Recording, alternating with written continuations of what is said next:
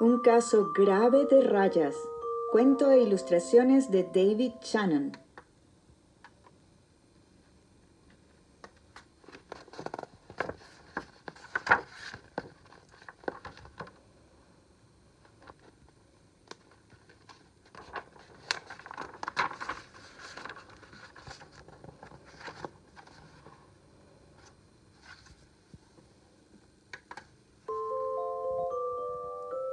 A Camila Flan le encantaban las habas, pero nunca las comía porque todos sus amigos las detestaban y ella no quería ser diferente.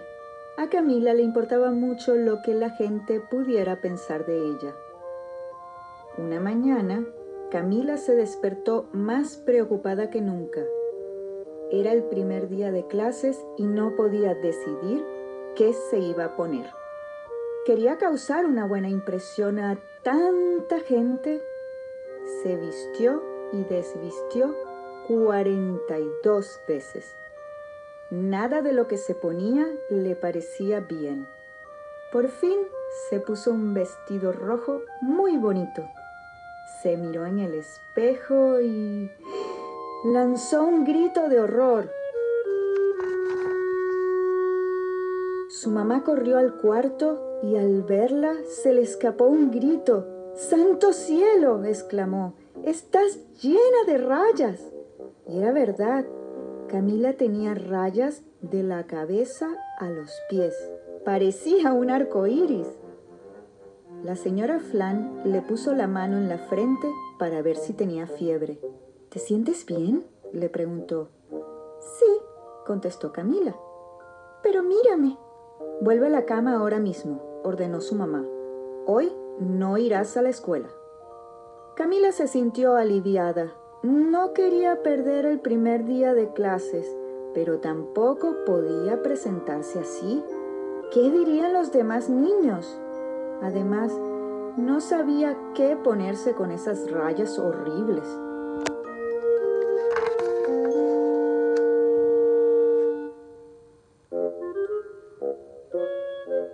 Tarde, el doctor Falla vino a ver a Camila. Increíble, exclamó. Nunca había visto nada igual. Dime, Camila, ¿tienes tos, catarro, estornudos, dolores, malestar, escalofríos, calores, mareos, sueño, falta de aire o espasmos incontrolables? Respondió Camila. Me siento bien. Entonces, dijo el doctor Falla dirigiéndose a la señora Flan, no veo ninguna razón por la que tenga que faltar a la escuela mañana. Aquí tiene un ungüento que le quitará las rayas en unos días. Y si no se le quitan, ya sabe dónde encontrarme. Y se fue.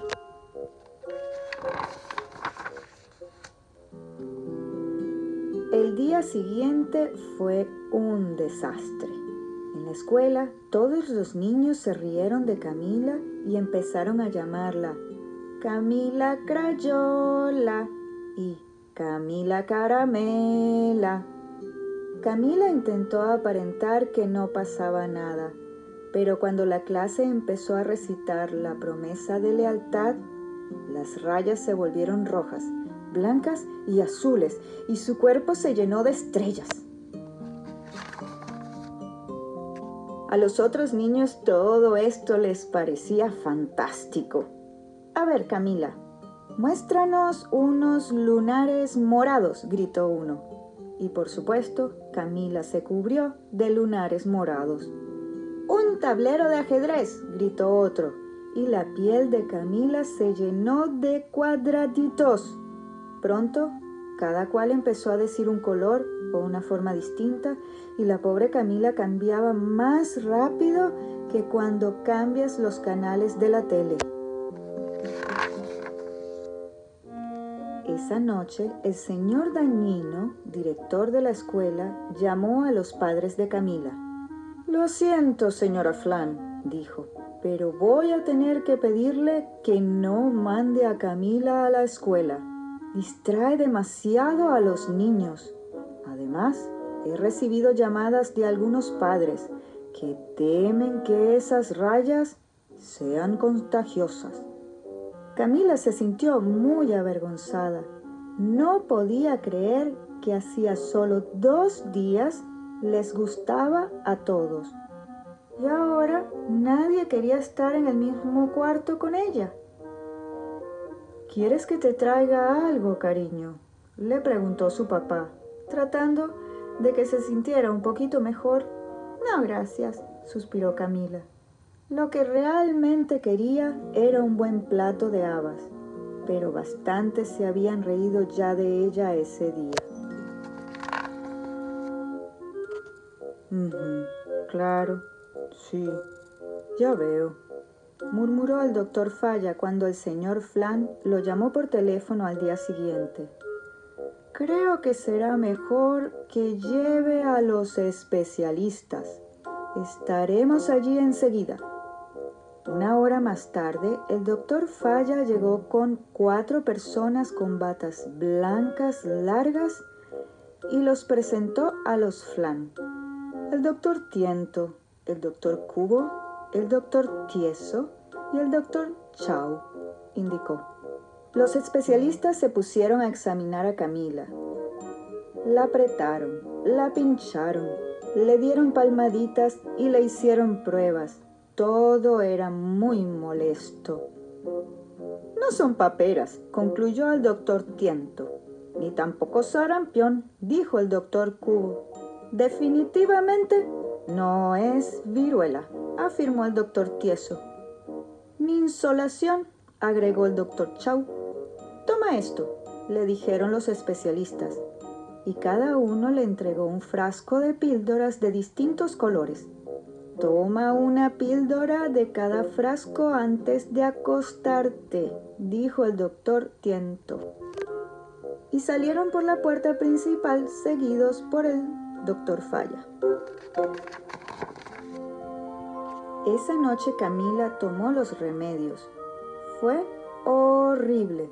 A la mañana siguiente, cuando se despertó, se sentía diferente y cuando trató de vestirse, notó que la ropa no le entraba. Se miró en el espejo y allí, mirándola de frente, vio a una gigantesca píldora multicolor con su propia cara.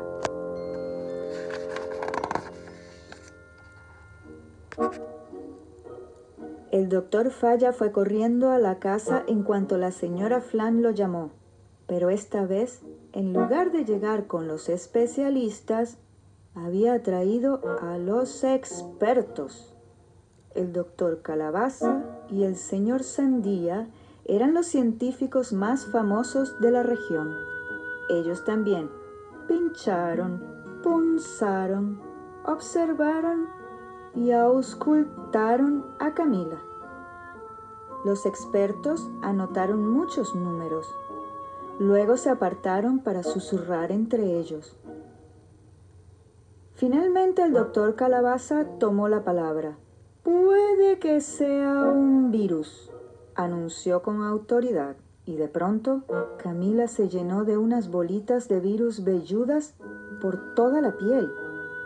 O quizás sea un tipo de bacteria, dijo el señor Sandía, y le brotaron por todo el cuerpo colitas de bacterias movedizas.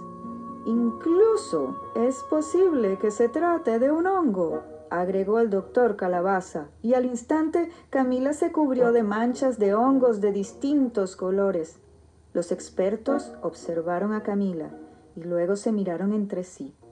Tenemos que volver a revisar estos números en el laboratorio, explicó el doctor Calabaza. Los llamaremos en cuanto sepamos algo. Pero los expertos no tenían ni idea de lo que era y mucho menos cómo se curaba.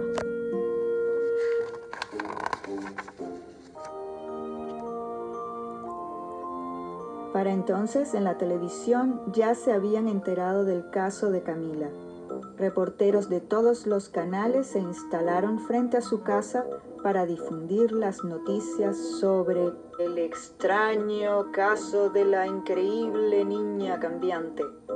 Pronto, una multitud había acampado en el jardín de la entrada.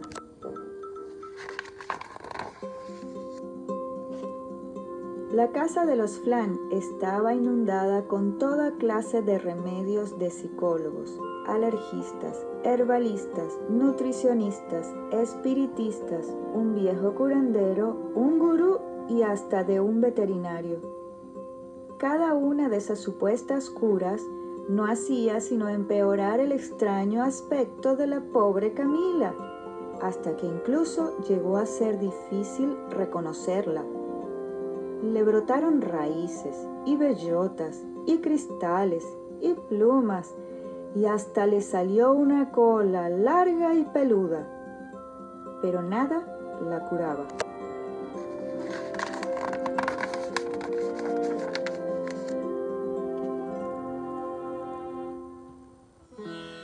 Un día una mujer que dijo ser terapeuta del medio ambiente afirmó que ella podía curar a Camila. Cierra los ojos, le dijo. Respira hondo e imagina que tú y tu cuarto son uno solo. ¿Para qué habrá dicho eso? gruñó Camila y lentamente empezó a fundirse con las paredes del cuarto. La cama pasó a ser la boca, la cómoda la nariz y los cuadros que colgaban en la pared los ojos. La terapeuta lanzó un grito y salió disparada. ¿Qué vamos a hacer? exclamó la señora Flan sollozando. Cada vez se pone peor.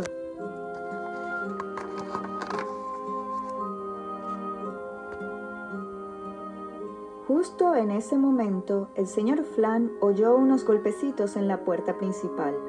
La abrió y vio a una anciana dulce y regordeta como una fresa. Disculpen, dijo sonriente. Creo que los puedo ayudar.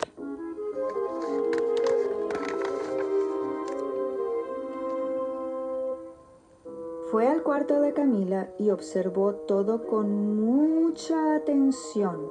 Dios santo, dijo meneando la cabeza. Lo que tenemos aquí es un caso grave de rayas de los peores que he visto.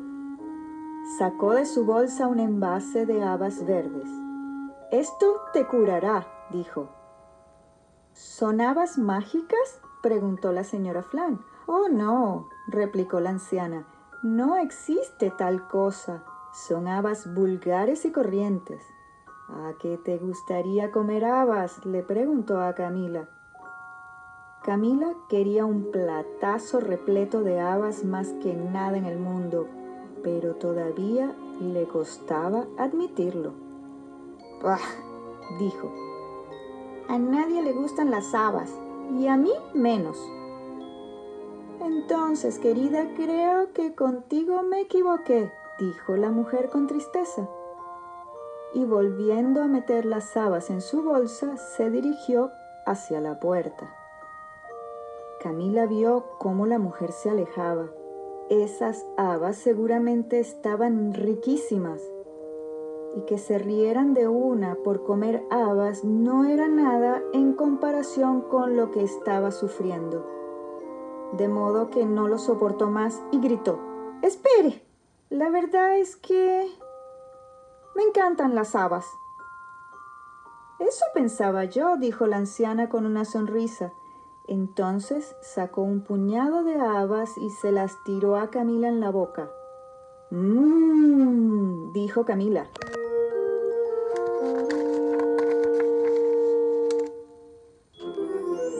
De repente las ramas, las plumas y las colitas movedizas empezaron a desaparecer. Luego, todo el cuarto empezó a girar. Cuando dejó de girar, Camila estaba de pie y todo había vuelto a la normalidad. Estoy curada, gritó. Sí, dijo la anciana. Yo sabía que la verdadera Camila estaba por allí, en algún lado, agregó dándole unas palmaditas en la cabeza. Entonces salió de la casa y desapareció entre la multitud. Desde entonces, Camila no volvió a ser exactamente la misma. Algunos de los niños de la escuela decían que era rara, pero a ella no le importaba.